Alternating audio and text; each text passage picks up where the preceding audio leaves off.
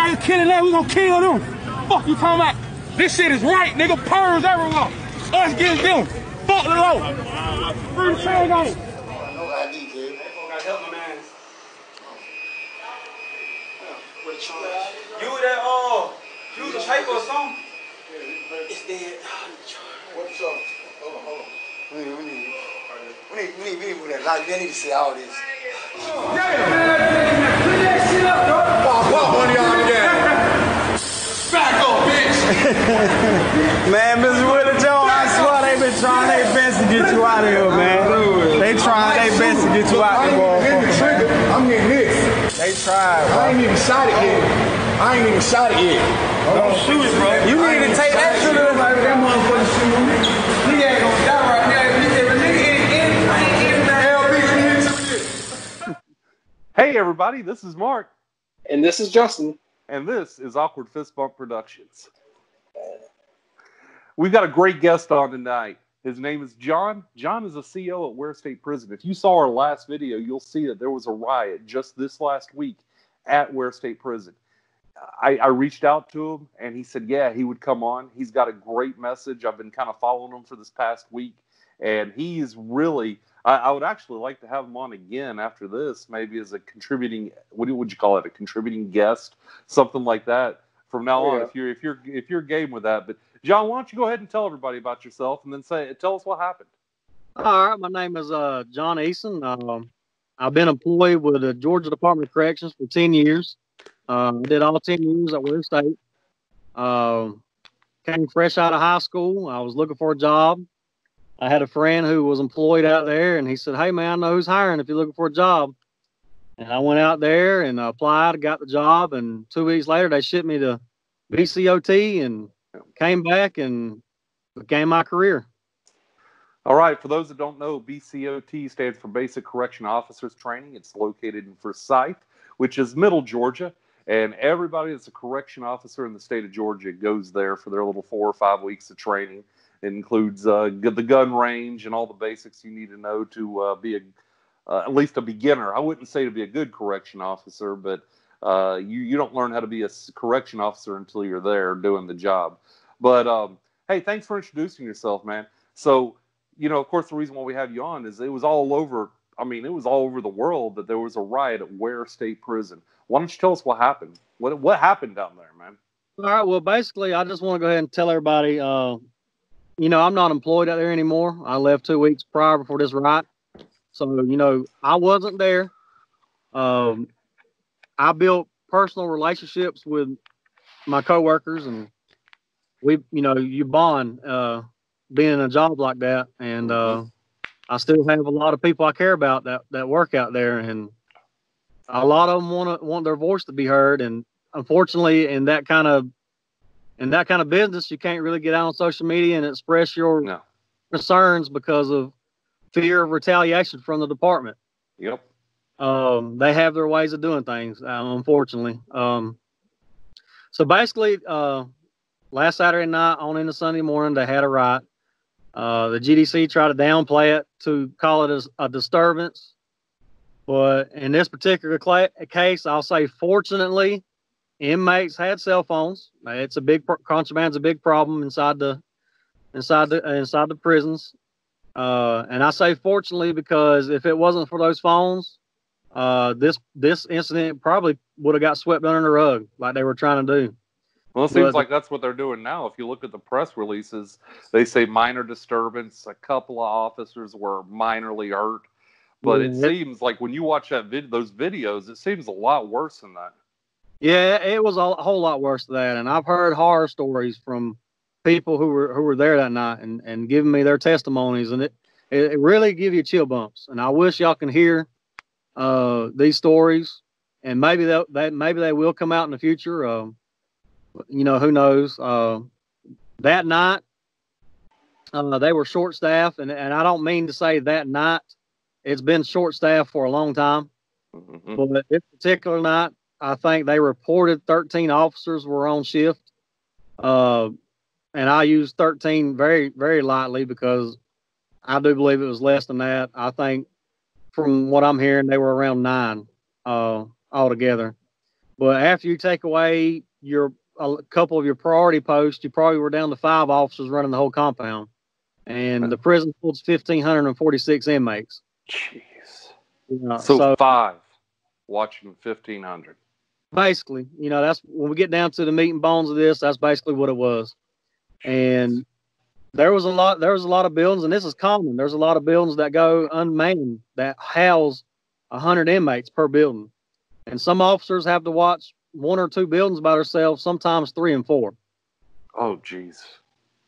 So that means a lot of inmates are going unsupervised during the day. Even even in the inmate scenario, if they need medical attention for anything, they're not going to get it for a while because officers are at another building tending to those inmates.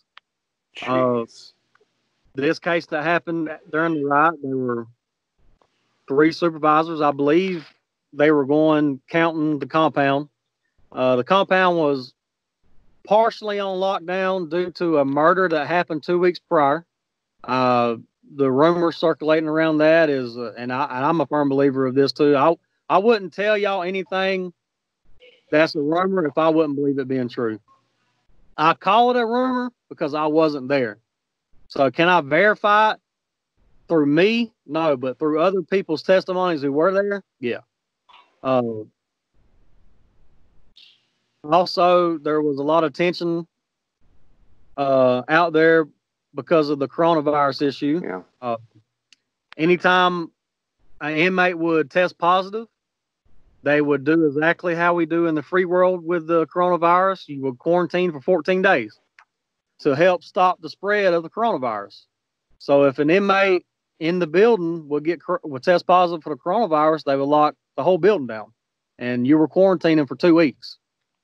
And some inmates couldn't gasp the thought of being locked down for 14 days, and they didn't do anything wrong. They don't have coronavirus. Why should they be locked down? It takes Mhm. away some of their freedoms. They can't get out and roam around like they normally do. Can't go use the kiosk like they normally do, which is what they use to contact their families and stuff like that. They can't get out and use the phones like they normally do. Watch TV. Uh, so you're in your cell with one other guy and you're quarantining for 14 days, and that's how that's how the tensions were built up. And there was a lot of issues coming through days prior to these buildings being locked down that the officers were having a hard time keeping the doors locked. Uh, inmates were popping out of their cells. Uh, they were busting these door locks and these latches where they can gain access to run out on people. And the upper management knew about it. They actually had to go in a couple of days prior for um, to help lock the buildings back down. Jeez. And then 45 minutes later, it'd be back the same. You know, officers being there and they'd be 15, 20 inmates running around. Uh, and I, I, I say that because it's a maintenance issue, but I don't want to make it sound like the maintenance uh, department out there weren't doing their job because I can testify that Oh yeah. just like the correction officers, the maintenance staff is short. You know, where it would usually take 12 maintenance guys to work a compound that big, we- we're down to four or five. Mm. And with it with it being that old, there's so much stuff that's going on to where they have to keep constantly fix stuff. Yeah, and, and there's inmates tearing stuff up. Yeah, that's true. Uh, but there's also it's an old compound, like you said, so there's wear and tear on the prison. Yeah. Uh, there's a lot of priorities that have to be put in place when you're fixing maintenance issues. Like anytime the intake gates will go down, they have to stop what they're doing and go see about that. They can't worry about a sink or a toilet. They have to go take care of that first. They're getting overworked. Uh, your your correction officers are getting overworked because they're they're. Hold on a second, guys. I'm sorry. No, it's okay.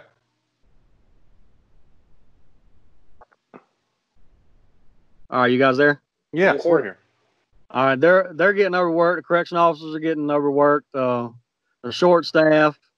And anyway, I'm rambling on. I'm trying to explain this the best way I can. Yeah.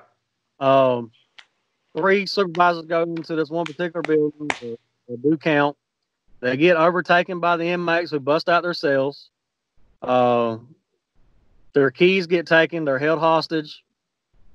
Um, that caused the inmates to gain access to the day room doors and the sally ports and four other buildings because they had the keys and three lockdown units. They freed all those inmates, and then that's when the riot really took took off.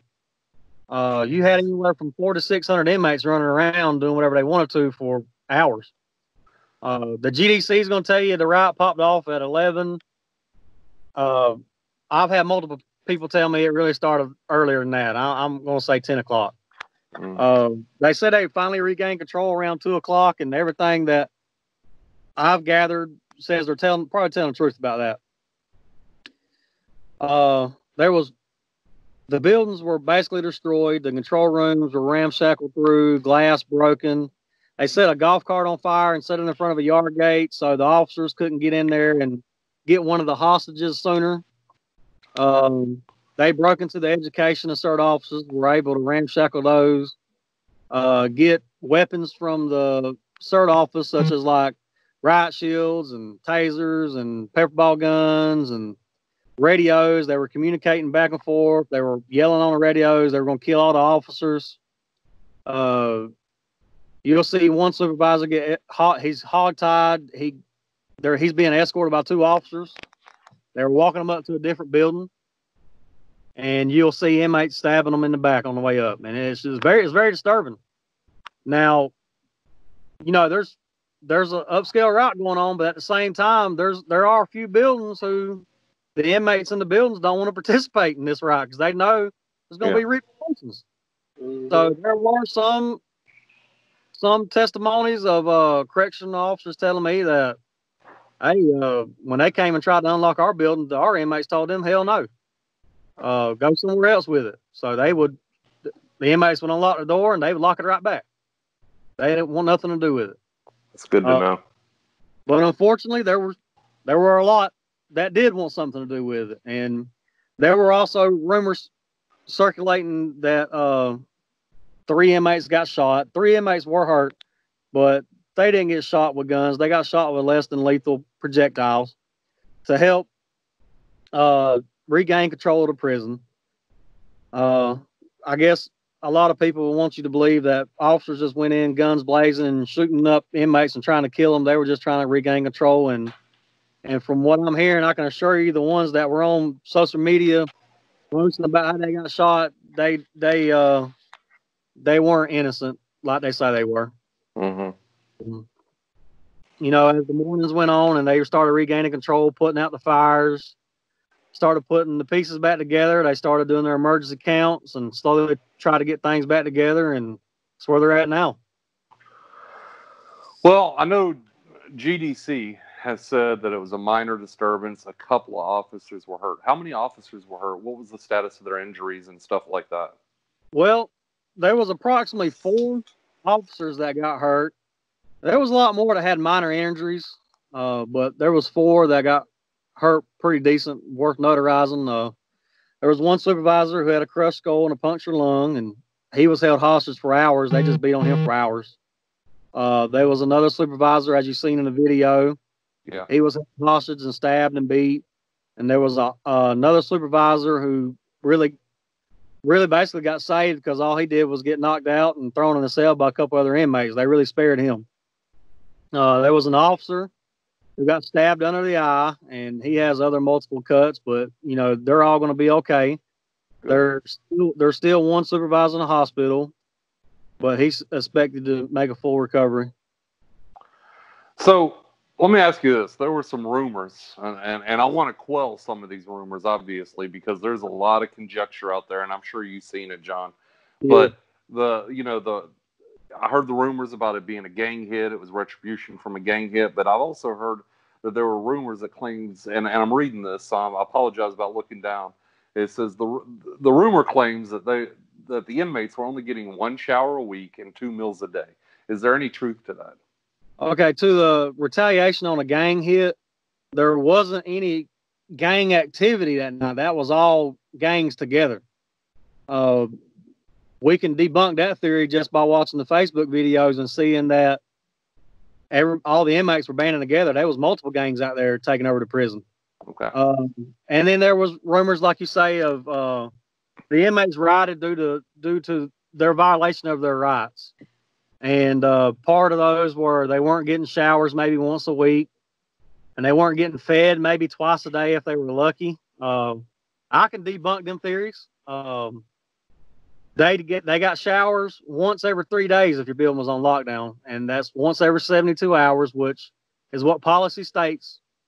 And Ware State Prison, even though they're super short staff, they have good staff, and they're lucky because those officers will stay and make sure those inmates got showers. Some would stay till you know they go in at six in the morning. Some will come in even earlier to start showers. Some will Mhm. stay till eight or nine o'clock until showers were done.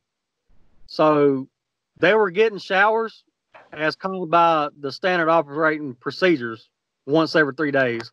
Uh, them getting fed once or twice a day is false. Uh, Mhm. Three meals every day, even on the weekends. And I say even on the weekends because normally they only do get meals on the weekends, breakfast and dinner. But to keep to keep the the agitation down due to the coronavirus and inmates weren't allowed to have visits because they canceled visitation. Yeah. Because of they didn't want visitors in from all over the state and chance bringing in coronavirus they would feed the inmates lunch on the weekends as well. Uh, sometimes it'd be a, you know, it could be anywhere from a peanut butter sandwich and a banana and a milk to, you know, a pack out. When I mean pack out, it's like two or three sandwiches and cake, uh, things like that. And they also do get um, packages from the state. Um, and they've recently gotten probably within the last three or four months three or four packages from the state, which are just little just little pack outs, you know, not pack outs, but packages with soups and candy and honey buns and drinks in it, just to just to keep the agitation. They try to keep the agitation down best they could. Uh, they would the GDC did approve for them since they couldn't see their families. They gave them two free stamps a week, give them a free 15 minute phone call a week, you know, things like that to try to keep things calm the best they could, but unfortunately, it didn't work out the way they thought it did. Mm-hmm. So, you know, violation of the rights, I'd say no. Uh, that that wasn't the case either because I just think it had a lot to do with the the murder of the the inmate a couple weeks prior and and irritation due to the coronavirus. You know, it's, it's, Yeah. it's a bad situation. Justin, what questions do you have? I know you had a couple you sent me ahead of time. Uh, He's answered some of them. Yeah, he has. Okay, so he has answered quite a few. So, okay, so what what could the state level uh, DOC employees do to prevent uh, from this happening again? Like, what do you think could be done? Well, there's- there's- good question. there's such a big uh, disconnect from the GDC itself from its employees. Uh, the employees feel abandoned because they don't have the staff to properly run a prison. And we're going back to real quick to the violation of inmates' rights, where if I would say anything was violated, it was nobody's really there to to keep security of these inmates. These inmates are in here under the Department of Corrections authority, so they should be able to provide safety measures to ensure their safety as well. And, And your last video, sorry, I mean cut you off. Your last video, you were talking about they took the SOP books out. yeah, they uh earlier January, uh there was a couple of us officers, us veteran officers, uh FTOs and things of that nature. Uh, when they really started breaking down the breaking SOP, we got concerned, and uh, you know, different things weren't adding up in our books because we properly know how how to run a prison because we ran it with thirty-seven to fifty officers like it's supposed Yeah. to be, and when we're running it with ten, we have no choice but to break policy. But we want questions answered. We don't just want to say yes sir or no ma'am. We want questions answered like, okay, so if we go in with these keys and these inmates take over and ha- have access to all these buildings, that's going to be uh, a bad problem for the state, the safety of the officers, the inmates, everybody. And it was more or less of you're going to do it or you're going to find another job. and that's not how you're supposed to talk to to your employees that are already going through one. You know, uh, the, the Department of Corrections, we're the third lowest paying Department of Corrections in the nation. Yep. And we have some of the worst inmates in the nation. How is that even possible? How is that even happening? Uh, you take away your employees' retirement. They're, they don't offer retirement no more for these guys. They took away the retirements. Yeah, they took away the retirement in 2012. Oh, oh yeah, yeah, yeah, yeah, yeah, yeah, yeah. and, and, and they're they're they're also there's also all kinds of budget cuts. They're always cutting back, uh, and the Georgia Department of Corrections just don't. I don't think they understand what it takes to run a prison, or or they don't want to stand up for their staff. And and just for a second, I want to I want to echo what John's saying is is when I worked at uh, Department of or GDC, should I say, when I worked up in Jackson, uh, I got a 10% pay bump. Okay, so you get the base salary, and then if you're a, a military veteran, because I came out of the army, um, I got a 10% pay bump because I worked at a place called the High Max, which the High Max, and and and these two know what it is, but the High Max is if you go to general population and you kill somebody, you kill an officer, another inmate, you can't get along, or even if you sometimes if you're just high profile, uh, like Brian Nichols was uh, in the high max, uh, they they put you in the high max. But because you're in the high max, they give me gave me another 10% pay bump, and even with those two 10% pay, pay, pay bumps, I only made right at 29,000 a year.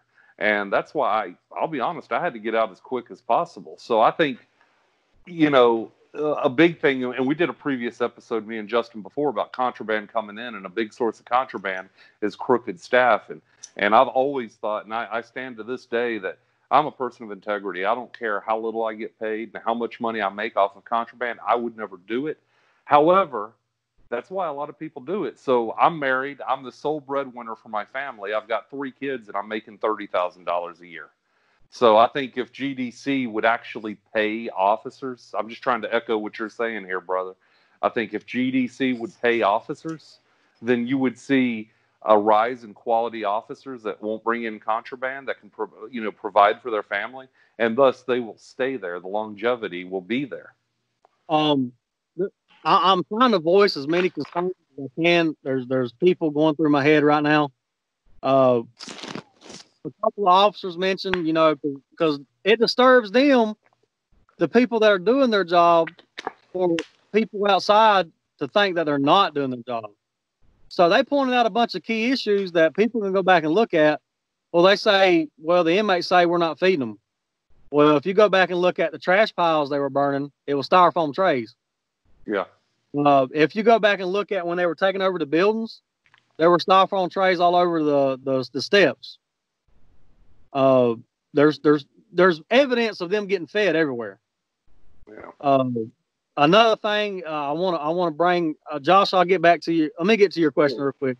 The SOP.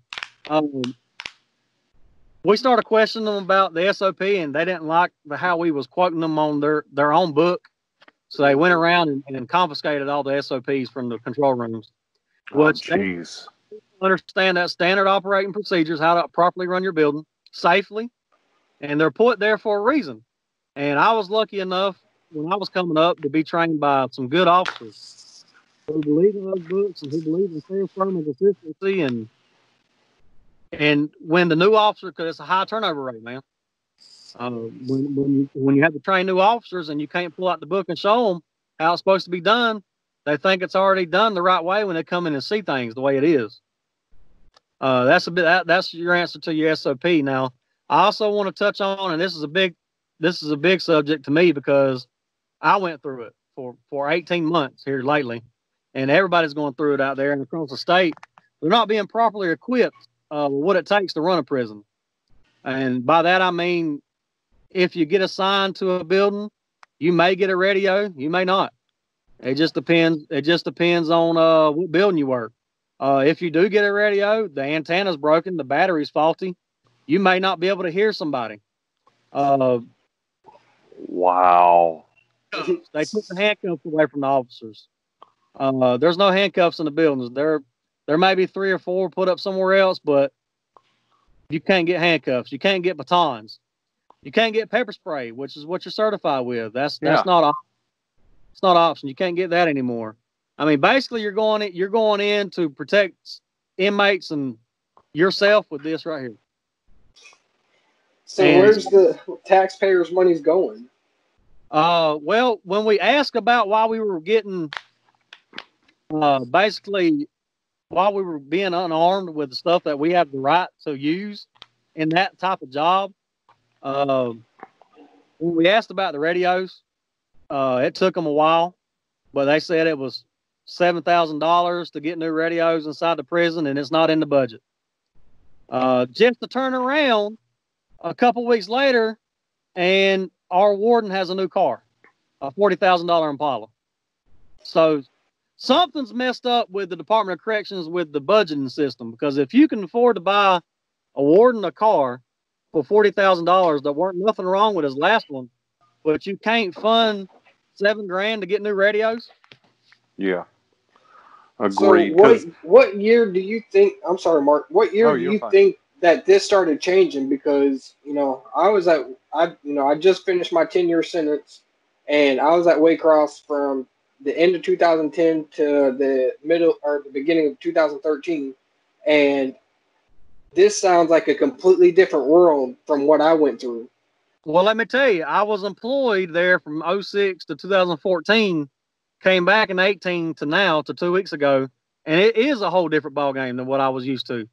Uh, a lot of people say it started happening around 2016.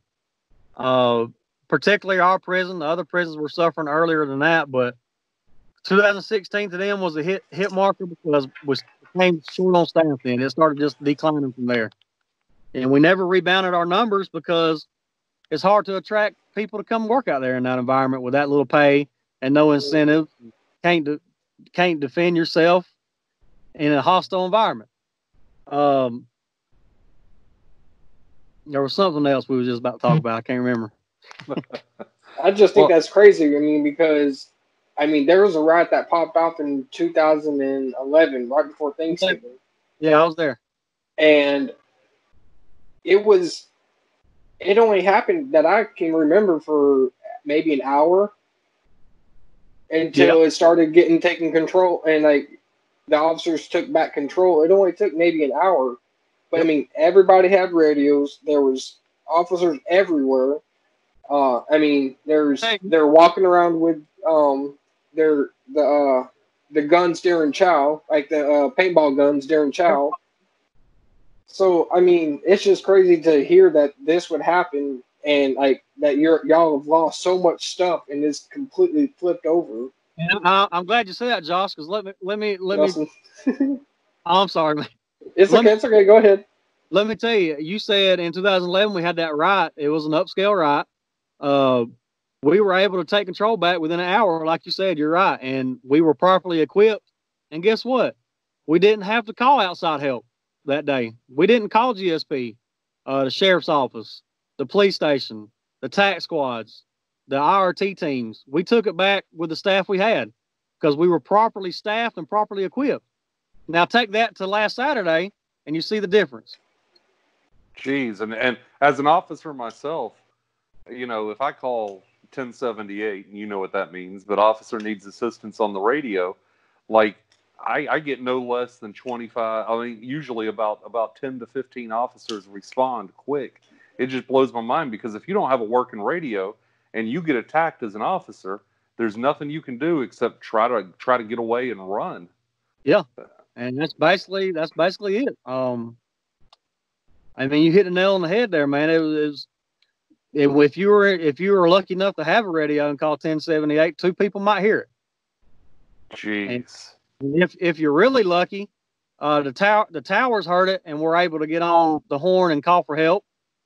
But then again, like I said, there there's a problem with the radio system out there. They have said there's problems because we're so close to an airport. So there's interference. I don't believe that, not one bit. But it's just that's another way of them saying, "Hey, deal with it." You know, we're close to the airport, so that's that's the excuse. Yeah. Well, listen, I think I think we're at a great stopping point here just because of time. But um, can we have you on again? Maybe in a few weeks. I have so many more things to talk about. People want me to talk about. Uh, anytime's good for me, man. I, you know, I'm I'm blessed. I have a, I have another job that I love. Yeah. That's.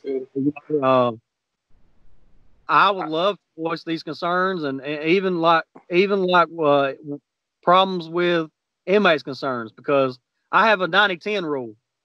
And a 90-10 rule I was I was trained upon, which means when you go into work, you have 90% of the inmates are not going to give you not one problem. Yep. Uh, Yep. As long as you're fair and firm with them. Uh, hey, Officer Eason, how you doing, man? How's your day? Good, man. Well, how about that Falcons game? I was like, yeah, man, they they did their thing. Man, have a good day. The 10 rule, the 90 10 rule, the 10 rule is there's going to be 10% that's going to give you problems. Yeah. Uh, I, I mean, it's just, it is what it is. But uh, I also believe in sticking up for those 90, you know, the 90% that want to just lay it down and do their time. Uh, they got, they got sentenced. They want to give their debt to society and return back and, and, and hopefully have some kind of reform when they get out. Well, brother, I, I want to have you back. I thought, what do you say, Justin? Oh, Yeah. definitely. Yeah. because let- let- that's one thing. That's why we got this channel is because we want to be able to speak on both sides, officers and in you know former inmates, and so like we definitely want to find a common ground and how can we make this better for both sides. Exactly, and and, and it's always going to point back to one thing, and I know I've said it, and I can't say it enough, but shortage of staff, Yeah. shortage of staff, and and and we never really got the chance to cover on negligence of the higher ups that, that are in charge of these facilities. Oh, okay. But one day soon, we'll we'll touch that to- that subject because there went there was a lot that went on that probably even though they were that short on staff, with the proper management and proper policies that couldn't have been broken, that could have been at least detained. Yeah. Probably not have happened. Uh, you know, it's just one of those things, man, that we need to touch on and and hopefully some some ears that have power or have any kind of concerns about their community would be willing to do anything about this because it's only going to get worse. Yeah. I like it. Hey, if, if someone wants to follow you on social media or, or, or keep up to date with what you're doing, do you have do you have anything you want to put out? Oh yeah, I got a Facebook page. This is my personal page, but they're more than welcome to uh, direct message me on there.